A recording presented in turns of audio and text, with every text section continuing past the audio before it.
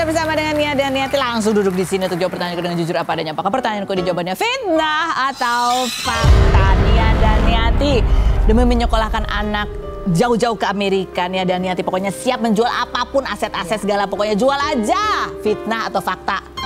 Fakta. Ini ada artikelnya nih ya, bunyinya gini. Nia dan Niati siap jual aset demi kuliah anak. Ke mana bapaknya? Bapaknya eh, ada sih. Nah. Kebetulan kemarin itu juga kan eh, ada datang waktu anak saya sakit. Saya memang dua kali dirawat. Terus saya suruh datang. Ya alhamdulillah datang dan mungkin dia pun pengen eh, menempatkan, memberikan tempat di sana untuk anaknya.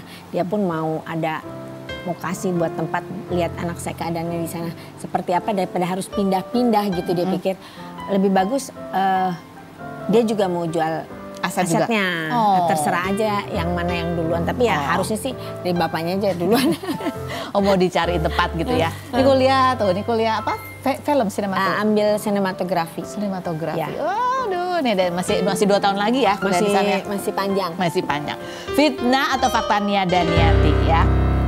Eh, kamu ya karena anak kamu sakit akhirnya kamu yang maksa-maksa Farhad juga untuk ikut jengukin anak kemarin di Amerika karena khawatir anak sendirian di sana fitnah atau fakta fakta fakta ya itu gimana Kan- sih ceritanya tuh Karena saya dapat telepon tiba-tiba Hmm. anak saya eh, harus dirawat gitu. Sementara saya lihat paspor saya kan Pas udah habis. ku- kurang dari enam bulan. Oh. Takut kan? Saya gi- bagaimana ini yang cepat gitu loh. Langsung saya eh, perpanjang di Cengkareng yang bisa dua jam. Langsung dari situ begitu dapat saya langsung pesen Tiket. tiket. Eh, sore saya selesai, malamnya saya langsung berangkat seadanya aja baju yang dibawa sendirian udah seorang ibu tuh ya Iya.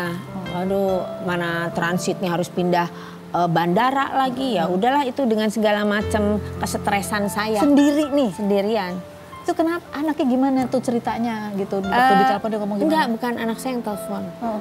Eh, roommate-nya bahkan ada eh, pengasuh yang dia di sana yang dari agensi ini yang ngasih tahu. Terus teman saya juga ngasih tahu kalau eh, anak saya sudah dirawat gitu. oh sakit apa? Eh, dia itu kan tidak bisa awalnya sih saya juga nggak tahu apa. Cuma eh, daripada ada apa-apa gitu lebih bagus dia harus lebih banyak istirahat mungkin kecapean waktu itu sekolahnya dia kangen sama saya saya belum datang datang terus segala macam lah berbagai Duh, itu rasanya seorang ibu tuh gimana tuh pasti? Uh, rasanya yang kita lagi di atas langit rasanya hati itu jatuh semua. Udah nggak tahu nggak nginjak bumi lah. Sampai di sana pun eh, panik kan sendirian. Harus bagaimana ini ini itu. Untung banyak teman-teman eh, saya di sana yang banyak bantuin. Bantuin saya untuk eh, ke sana sininya ngurusin. banyak ada teman deket saya juga yang bantuin sama saudaranya gitu ngebantuin saya ini itu.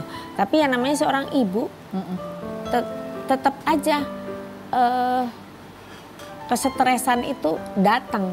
Takut ada apa-apa saya sendirian. Nah ini kan ada bapaknya. Iya. Ah, mau tidak mau akhirnya saya, saya bilang sama bapaknya sini bapaknya sama bilang sama eh, kakak saya tolong bilangin deh supaya dia jenguk angga Eh, coba kita lihat dari videonya nih dia bapaknya suruh datang malah bikin-bikin video nih bapaknya juga Sore hari di ya. Amerika. Gimana nih betah di sini? Mana? Nggak kangen Jakarta? Ya gimana lu jagain anak dulu. Istirahat untuk kerja demi anak. Oke. Nia sekarang istirahat. Udah gak istri Farhat lagi. ayah ayah Iya ya ampun. Ini ya ibunya panik, anaknya sakit, bapaknya disuruh datang begitu datang malah bikin konten Iya, aja. iya bener bener itu bener bener banget nggak lepas dari handphone bukan ya harus istirahat, bukan istirahat lagi. Bisa bisa aja gitu dapat ya. Tapi anaknya gimana bapaknya datang?